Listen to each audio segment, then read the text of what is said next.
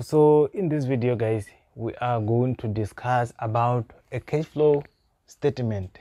So if we are talking about cash flow statement guys what you need to know is that you must know from the first note which is, which is cash generated from operation you also have to know what is falling under these notes. Okay number one we have cash generated from operation. So guys this is the whole note that uh, will contain a lot of marks you need to make sure that you know the format of these notes and you know how to calculate it. It's not that difficult. Okay so i did this note on the previous video. So if you are one of my subscribers obviously you are going to find it on the list of grade 12 okay you also have to know how to calculate interest paid taxation paid and dividend paid which we are going to do on this lesson. Okay number two please make sure that you know cash flow from investing activity. If we are talking about investing activities guys we are talking about everything that fall under fixed assets note. Whether assets has been sold or has been purchased that's what we are talking about when we said investing activity. Note number three. If you know note number three that's where the calculation will come from. Okay we also have cash flow from financing activities so cash flow fin uh, from financing activities guys we are talking about shares. Whether we bought back share whether we purchase share or we sold share and we also talk about a loan. Whether we talk loan or we repay loan we have to record it under financing activities. Then after that we are going to calculate our net change in cash and cash equivalent. So this one is very simple because you are going to get it on a balance sheet opening balance and closing balance. But sometimes they're gonna give you only opening and you need to calculate a closing. I'm going to show you that on this question. So the first question guys they said that what is the main purpose of cash flow statement? So before we do calculation let me write down the main purpose of cash flow statement. Number one we want to show we want to show management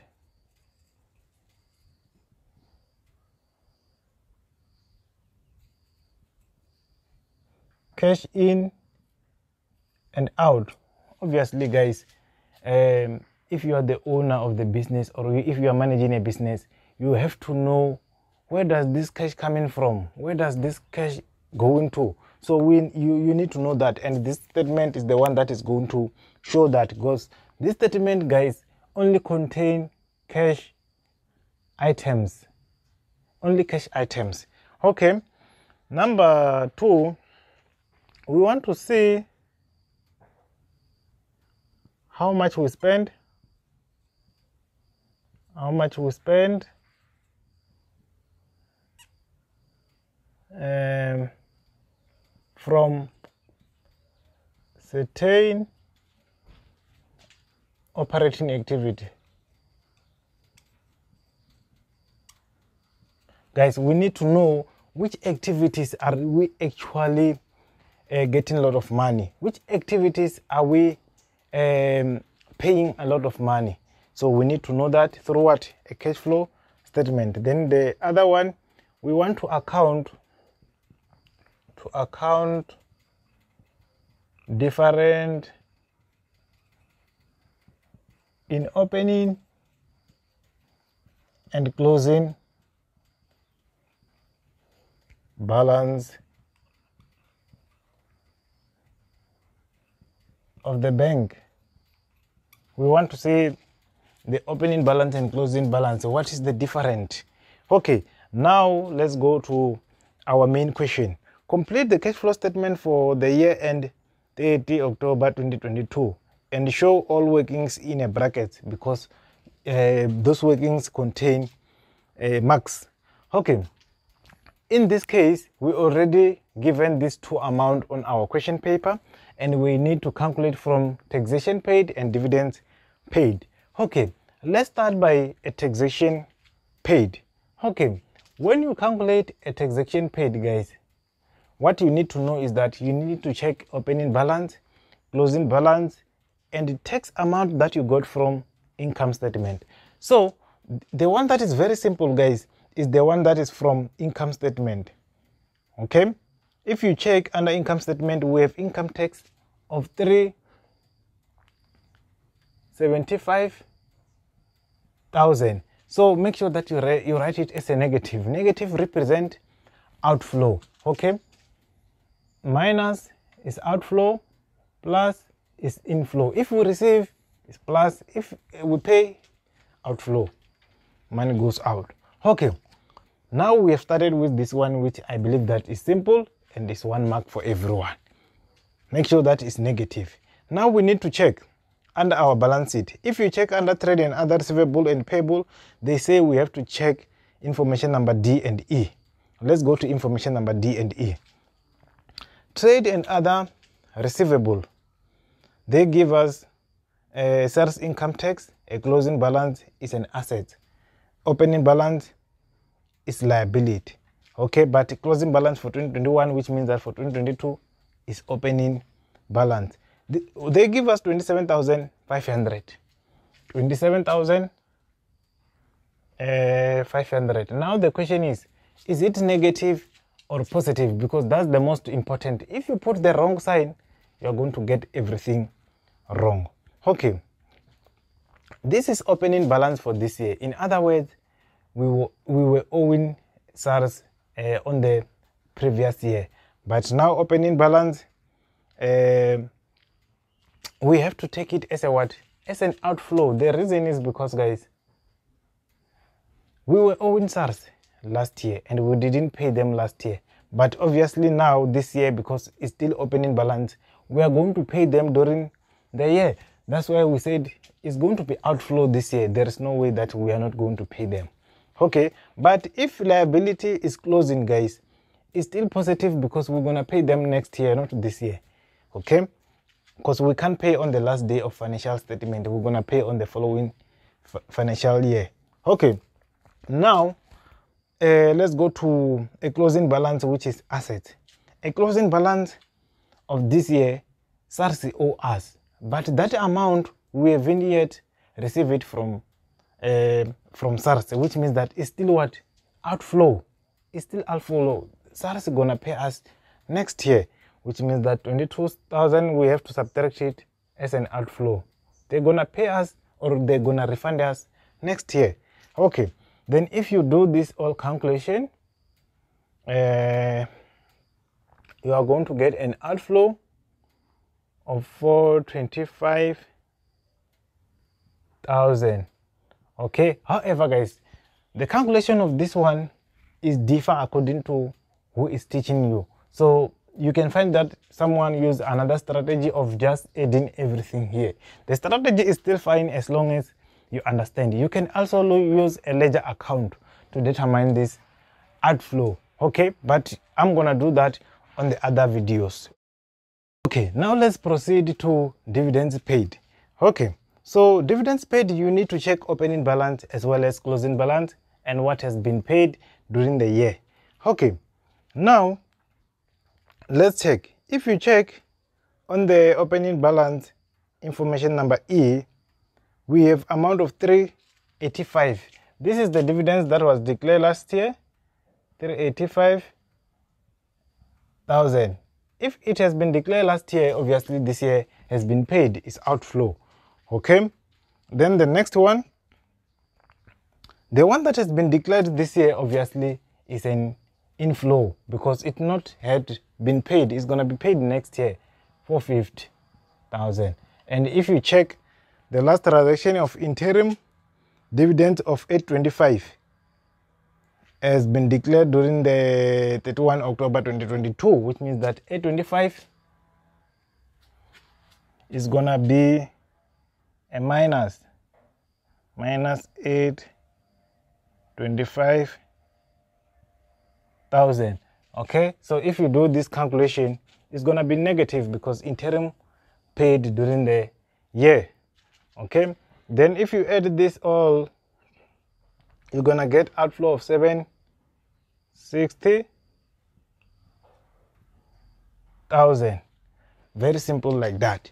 Okay now let's proceed which means that we need to add whatever that is positive and subtract whatever that is negative so that we can get cash flow from operation uh, which is amount of 625,000 just like that Okay, now we are going to cash flow from investing activities. Fixed assets purchased, which means that we have to go to our fixed assets note and check. Additional cost we have 48,000 and we don't have any other transaction related to this one, which means that we need to say 48,000 has been purchased. If we purchase, guys, obviously uh, this is going to be outflow because we purchase, our money goes out. Okay. Then the next one is proceed from sales of fixed asset. Okay, let's read. Additional information. A, a vehicle was sold at carrying value on the last day of financial year and the land and building were sold at the cost during the financial year. Depreciation does not apply in this case.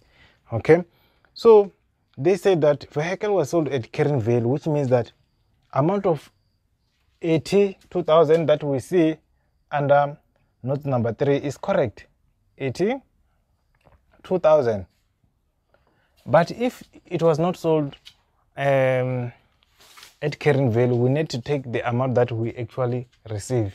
Okay, that which means that the next step now we have to add uh, land and building of 500,000. Okay, then after that is gonna be 582,000. Okay, then if you add this together, it's gonna give you 582,000, which is correct, and it's going to be inflow because we sold something and we receive cash. Okay, now let's proceed. We have to go to cash flow from investing activity. Okay, investing activity we're done. We are going to financing activity. Okay, financing activity that we have here we have a proceed from sales of share.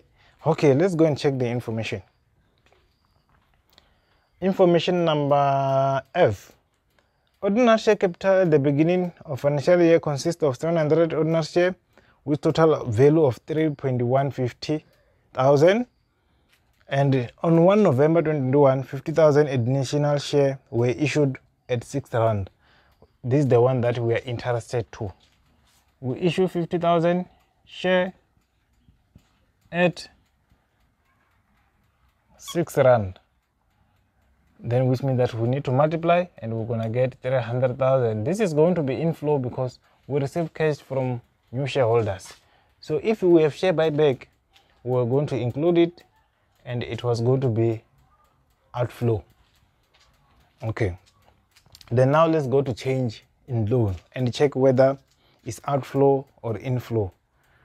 Um, under a balance sheet, we have a balance of 1,375,000 in 2021 and in 2022 we have the balance of 2 million. Okay, which means that we need to get the difference between these two.